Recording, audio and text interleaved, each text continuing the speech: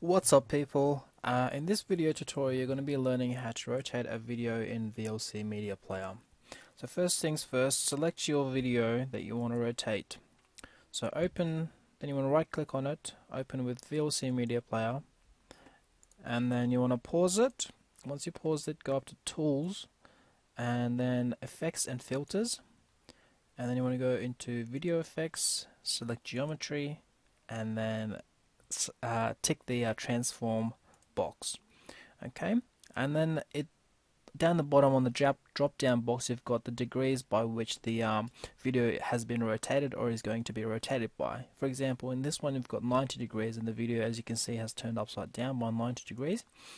But we want to turn this up right, so 180 as you can see is still not right. So select 270 and then it should hopefully um, be uh, upright like this but it all depends on the video and what orientation it is to begin with.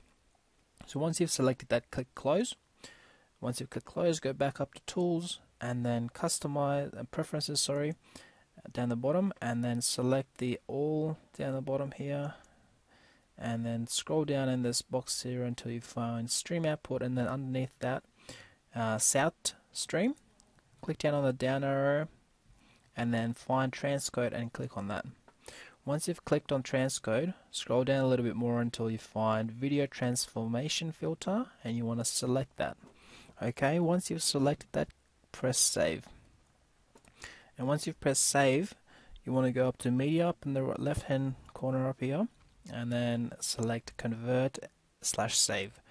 Once you've selected that, you want what you want to do is you want to click on add and once you've clicked on add it will take you, or you should add the video that you want to rotate. So here, back in pictures where I have my video, um, I'm going to select that and I'm going to open that.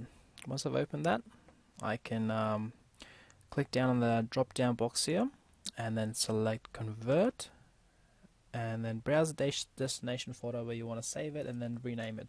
So in this case I'll just name it tutorial rotate. Cool press save and then start. And once you press start what happens is it starts converting that video. Uh, and once you've uh, converted this video and saved it in this way it allows you to play it in any other media player that you might have. So that's that's why you want to save it. So depending on the video it, it will take however long but this is a short video so as you can see it went pretty fast once that's happened, once it's saved, you can check that you know here it is.